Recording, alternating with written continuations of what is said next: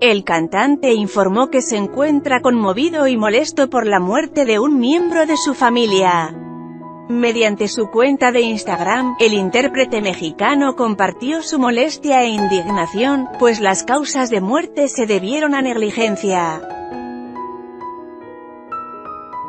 En el aeropuerto de Los Ángeles, un empleado de la compañía Volaris extravió a Chucho, el perro de la familia Aguilar. En el video el también compositor comenzó diciendo, la compañía Volaris y el Aeropuerto Internacional de Los Ángeles, pues perdieron a mi perrito ayer, no tanto la compañía, no tanto la empresa pero sí un empleado de la empresa y las disposiciones que tienen estas personas realmente no les puedo describir con palabras lo que siento ahorita porque si bien es cierto para algunos un perro es un animal más para otros llega a ser parte de su familia y en este caso así era.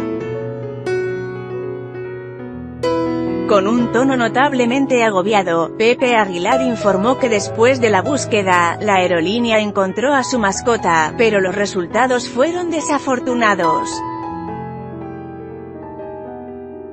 Encontraron ya a mi perro, desgraciadamente lo encontraron sin vida. Lo único que les quiero decir a los señores de Volaris, yo sé que la compañía no se puede juzgar por un accidente donde se pierde un perrito, pero nosotros hicimos todo lo debido, venía en su cajita, venía todo lo que necesitamos y se le salió al que estaba cargando las cosas.